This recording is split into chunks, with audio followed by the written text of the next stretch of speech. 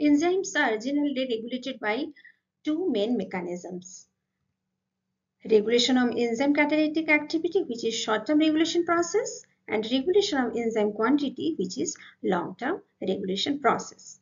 Enzyme catalytic activity is regulated by allosteric regulation, activation of latent enzymes that means uh, irreversible covalent modification and reversible covalent modification. Compartmentation, isozymes, multi-enzyme complex formation and by environmental factors. Already I have discussed about the allosteric regulation, activation of latent enzymes and compartmentation.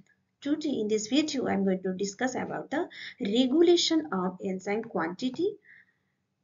Enzyme quantity is regulated by two mechanisms enzyme synthesis at uh, gene level and enzyme degradation. Enzyme synthesis at gene level is controlled by either induction or repression. Hello everyone, welcome to my channel Dr. Tapati's presentation. Myself Dr. Tapati Vanjate. Today topic of the presentation is regulation of enzyme quantity. I'm going to discuss about control of enzyme synthesis at gene level that means induction and repression and I'm going to discuss about enzyme degradation. The amount of the enzyme directly controls the velocity of the reaction catalyzed by that enzyme. There are two types of enzymes, constitutive enzymes or housekeeping enzymes, the levels of which are not controlled and remain fairly constant and second type is adaptive enzymes. Their concentrations increase or decrease as per body needs and are well regulated. Most of the enzymes, particularly the rate limiting ones, are present in very low concentration and have short half-lives. This helps in the efficient regulation of the enzyme levels. Let's know about the regulation of enzyme quantity by controlling enzyme synthesis and by enzyme degradation. The synthesis of enzymes, which are proteins, is regulated by the genes. Therefore, enzyme synthesis is controlled by induction and repression. Induction or repression ultimately determines the enzyme concentration at the gene level. Induction represents increased synthesis of enzyme in response to an inducer. Inducer may be substrate or hormone.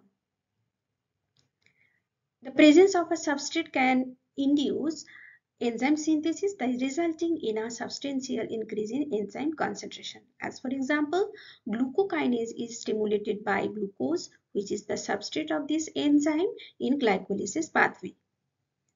Hormones are also known to increase enzyme synthesis. The hormone insulin induces the synthesis of glycogen synthetase, glucokinase, phosphofructokinase and pyruvate kinase. All these enzymes are involved in the utilization of glucose during the well-fed condition.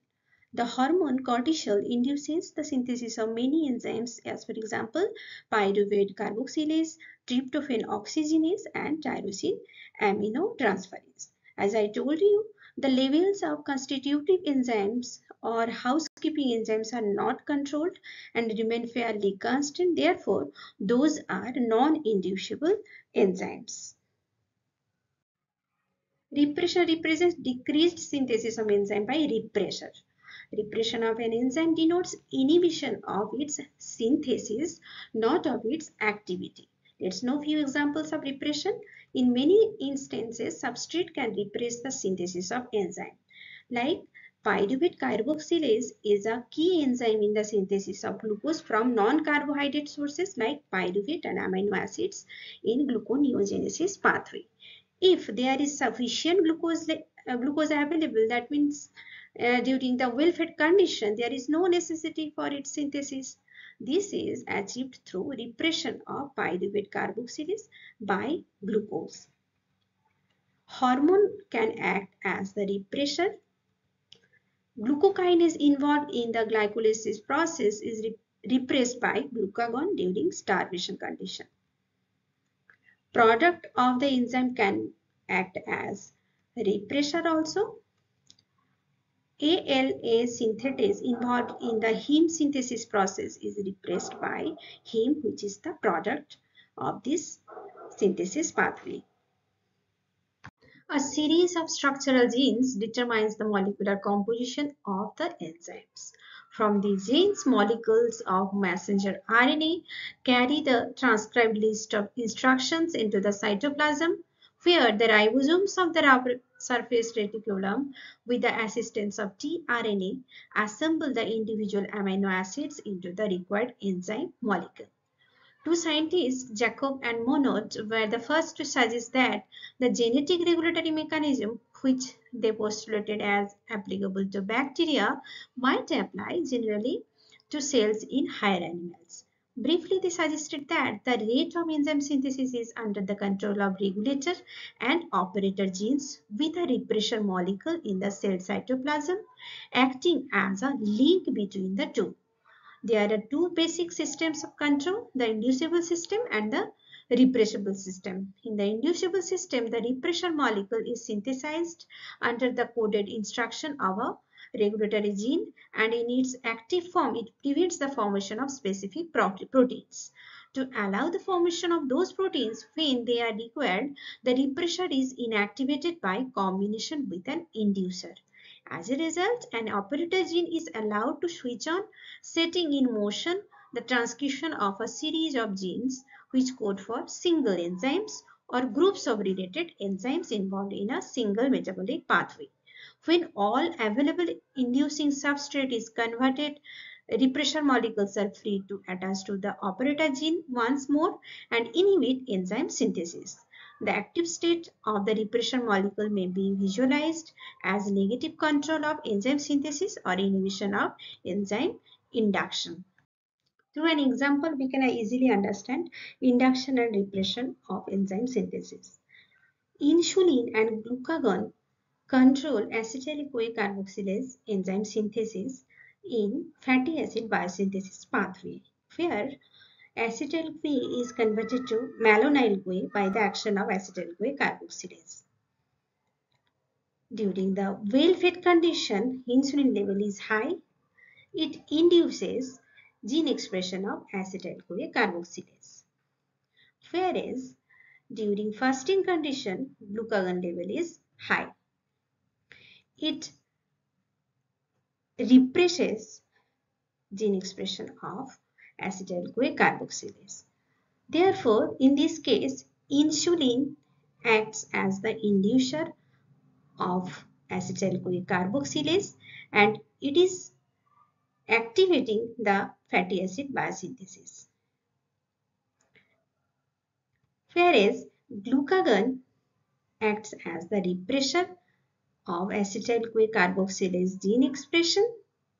Therefore, it is inhibiting fatty acid, fatty acid biosynthesis. In cholesterol biosynthesis pathway, HMG-CoA reductase enzyme is involved. When cholesterol level is high, that means end product concentration is high, it represses gene expression of HMG-CoA reductase. Therefore, it inhibits cholesterol biosynthesis. This process is called feedback regulation. Let's know about the uh, enzyme regulation by enzyme degradation. Enzymes are not immortal since it will create a series of problems. If not needed, they immediately disappear and when required, they are quickly synthesized. Each enzyme has their individual half-life. Few enzymes have short lives in hours or in minutes, while for others have long lives in days. As for example, half-life of LDH4 is 5 to 6 days, while half-life of alpha uh, half-life of amylase is 3 to 5 hours. In general, the key and regulatory enzymes are most rapidly uh, degraded. Most of the cases in enzyme with long half-life is usually sluggish in its catalytic activity, though not always true. The degradation of enzymes is constantly occurring in the cell, yet the molecular mechanisms that determine when and which enzymes will be degraded are poorly understood. Absence of substrate coenzymes or metal ion activators causes changes in the enzyme conformation, increasing its rate of degradation. Intracellular enzyme degradation by proteases is compartmentalized in the cell, in the lysosome or in the proteasome. Lysosomes contain various hydrolytic enzymes including nucleases, proteases, glycosidases, lipases, phosphatases, etc. which have their optimum pH at acidic range 4.5 to 5 which is analogous to the activity of the stomach. Lysosomes are known to contain more than 60 different enzymes. As enzymes are proteinaceous in nature, therefore enzymes are degraded inside the lysosome by the action of proteases. Material from outside the cell is taken up by through endocytosis while material from the inside of the cell is digested through autophagy. One of the major functions of lysosomes is the digestion of material taken up from outside the cell by endocytosis. Enzymes degraded in lysosome, lysosome do not require ubiquitination and uh, enzyme degradation by proteases in the lysosome is generally non-specific.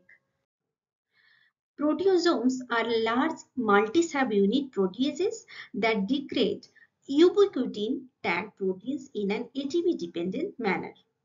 Ubiquitin is a small basic peptide of 76 amino acid found in eukaryotic cells. Proteasomes degrade proteins into short peptides. Let's know how enzyme degradation occurs inside proteasome. First of all, monomeric ubiquitin becomes activated in an ATP-dependent manner by enzyme 1. Activated ubiquitin is conjugated by enzyme 2. Thereafter, ubiquitin is transferred to an internal lysine of the target protein by E3 ligases. Following activated and conjugated ubiquitin binds to the abnormal protein forming the ubiquitin protein conjugate. Subsequently, the polyubiquitin protein conjugate is degraded by the 26 proteasome complex by ATP dependent process. The abnormal protein is clipped into the short peptide fragments and the polyubiquitin chain is released. The polyubiquitin chain is split by deubiquitination enzymes into monomeric ubiquitins. It can be concluded that the amount of an enzyme in a cell can be increased by increasing its rate of synthesis, decreasing the rate of its degradation or by both the processes. Thank you very much for watching this video. In order to motivate me, kindly like, share and subscribe this channel. Don't forget to press the bell icon to get notifications.